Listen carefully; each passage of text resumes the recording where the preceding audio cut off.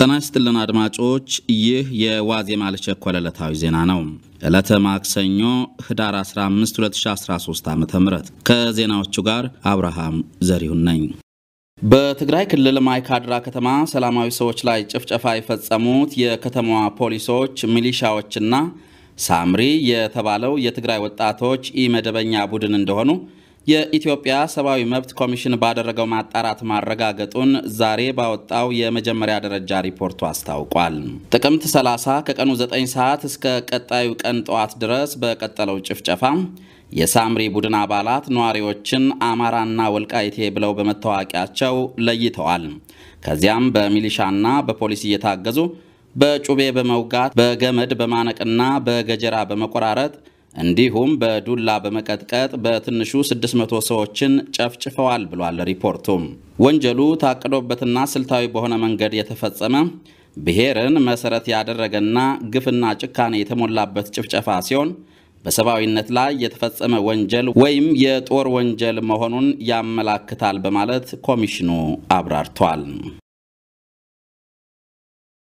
ህወሓት በታጣቂ ኃይሎቹ በወልቃይት ማይካድራ ከተማ የፈጸመውን የሰላማዊ ሰዎች ጭፍጨፋ መቀሌ ከተማ ላይ ለመድገም ዝግጅት እያደረገ እንደሆነ የመከላከያ ኢንዶክትሪኔሽን ኃላፊ ሜጀር ጀነራል መሐመድ ተሰማ መናገራቸውን የመንግስት ዜና አውታሮች ዘግበዋል። የህወሓት ቡድን ይህንን ወንጀል መቀሌ ላይ ለመፈጸም ያቀደው ለዚሁ ወንጀል ላዋቀረው ልዩ ቡድን የአልመዳ ጨርቃ ጨርቅ ፋብሪካ ያመረተውን የመከላከያና የኤርትራ ሰራዊት ደንብ ልብሶችን በማልበስ መሆኑን እንደተደረሰበት ጄኔራሉ ጠቁመዋል። ዓላማውም መቀሌ ላይ የመከላከያ ሰራዊቱና የኤርትራ ሰራዊት ሰላማዊ ሰዎች ላይ የፈጸሙት ወንጀል አስመስሎ ዓለም አቀፍ ድጋፍ ለማግኘት ነው ብለዋል ጄኔራሉ። የቀድሞው ጠቅላይ ሚኒስትር ኃይለማርያም ደሳለኝ ዛሬ ፎሪን ፖሊሲ መጽሔት ላይ በጻፉት ሀተታ የወንጀለኛ ስብስብ ከሆነው ህወሓት ጋር በሚደረግ ድርድር ሰላምና ፍትህ በኢትዮጵያ ፈጽሞ ሊሰፍን አይችልም ብለዋል። ህወሓት ግጭት የቀሰቀሰው ለቀደሙ ወንጀሎቹ ተጠያቂ ሳይሆን በዓለም አቀፉ ህብረተሰብ አነሳሽነት በሚደርስ ሰላም ስምምነት አማካኝነት የፌዴራል መንግስት ስልጣንን ለመጋራት እንደሆነ አውስተዋል። ህወሓት ለዚሁ ዓላማ ዓለም አቀፉን ህብረተሰብ ለማነሳሳትና ለማሳመን ጥረት እያደረገ መሆኑንም ጠቅሰዋል። ዓለም አቀፉ ማህበረሰብ ህወሓትንና መንግስትን በአንድ የሞራል ሚዛን ላይ ማስቀመጡን ተችተዋል። ሀገር አቀፍ ንግግር እንዲደረግ የሚጠይቁ የውጭ አካላት የግጭቱንና የግጭቱ አካል የሆነውን ህወሓትን ባህሪ ጠንቅቀው የተረዱ አይደሉም በማለት ሐሳቡን አጣጥለውታል። አዲሱ የብሔራዊ መረጃና ደህንነት ተቋም ኃላፊ ተመስገን ጥሩነህ የደህንነት ተጋላጭነትን ለመድፈን የሚያስችል ሹምሽር እንዳደረጉ ዋዜማ ከተቋሙ ምንጮች ሰምታለች። በሹምሽሩ የብሔራዊ መረጃና ደህንነት ማዕከል ምክትል ዋና ዳይሬክተሩ አሰፋ አብዩ ከኃላፊነት ተነስተዋል። የቀድሞው የፌዴራል ፖሊስ ኮሚሽነር እንደሻው ጣሰው ደግሞ የተቋሙ ምክትል ዋና ዳይሬክተር ሆነው ተሹመዋል። ከተለያዩ መምሪያዎችም ስድስት ኃላፊዎች ተነስተዋል። ባለፉት ሁለት ዓመታት በኦሮሚያና ቤንሻንጉል ክልሎች ሕይወት የቀጠፉ የጸጥታ ችግሮች ሲፈጠሩ በትግራይ ክልል የጦርነት ዝግጅት ሲደረግ ኦነግ ሸኔ በርካታ ጥፋቶችን ሲፈጽም ተቋሙ አስቀድመው ለመከላከል የሚረዱ የደህንነት ስራዎችን በመስራት ረገድ ጉድለቶች ተገኝተውበታል።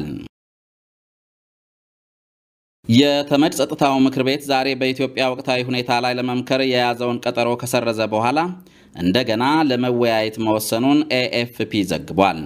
ምክር ቤቱ ቀደም ብሎ የያዘውን ቀጠሮ የሰረዘው የአፍሪካ ሀገራት ድጋፍ ባለመስጠታቸው ነበር ተብሏል። ምክር ቤቱ በጉዳዩ ላይ ለመወያየት እንደገና የተስማማው በተለይ በእንግሊዝና ፈረንሳይ ግፊት እንደሆነ ተጠቁሟል። ውይይቱ የሚደረገው ከምክር ቤቱ መደበኛ አጀንዳዎች በኋላ በኢመደበኛ መድረክ ነው። ዛሬ ከሰዓት በኋላ ጀምሮ በአብዛኛው የኢትዮጵያ አካባቢዎች መብራት እንደጠፋ የኢትዮጵያ ኤሌክትሪክ አገልግሎት በማኅበራዊ ትስስር ገጹ ባሰራጨው መረጃ አስታውቋል። ኤሌክትሪክ የተቋረጠው በቴክኒክ ችግር ምክንያት መሆኑንና ባለሙያዎቹ ችግሩን ለመቅረፍ ጥረት እያደረጉ እንደሆነ አክሎ ገልጧል። ከቀኑ 10 ሰዓት በኋላ ግን በአዲስ አበባና በአንዳንድ አካባቢዎች አገልግሎቱ እንደገና እንደተጀመረ የተቋሙ ኮሚኒኬሽን ኃላፊ ለጀርመን ድምፅ ተናግረዋል።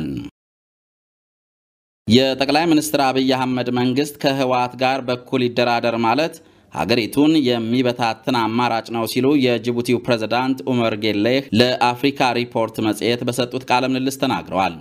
ህወሓት የተባለው ድርጅት ፌዴራል መንግስቱን በኃይል ለማንበርከክ ራሱን ያደራጀ ኃይል ነው ብለዋል ፕሬዝዳንቱ። አብይ ከድርድር ይልቅ ህወሓትን የመቅጣት አማራጭ መከተላቸው ትክክለኛ ውሳኔ እንደሆነ በሚጠቁም መልኩም ማንም ሰው ራሱን በአብይ ጫማ ውስጥ አስቀምጦ ችግሩን ማየት እንዳለበት ተናግረዋል።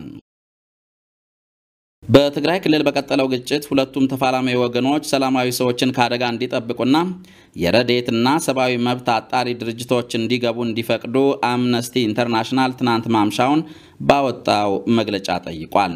በግጭቱ በመቶዎች የሚቆጠሩ ሰላማዊ ሰዎች ህይወት አጥፍቷል፣ በርካቶችም ቆስለዋል ብሏል አምነስቲ። ሰላማዊ ሰዎችንና ሲቪል ተቋማትን ሆን ብሎ ኢላማ ማድረግ በዓለም አቀፍ ሕግ የጦር ወንጀል መሆኑን ተፋላሚ ወገኖች እንዲገነዘቡም አስታውሷል። በትግራይ የተቋረጠው የስልክና ኢንተርኔት አገልግሎትም እንደገና ወደ ነበረበት እንዲመለስ ጥሪ አድርጓል።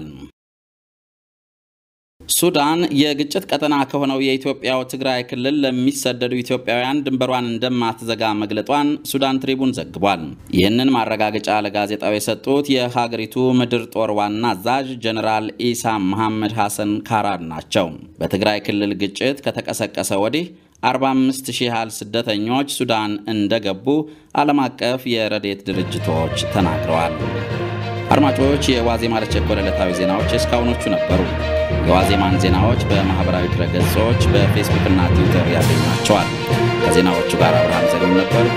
ጤና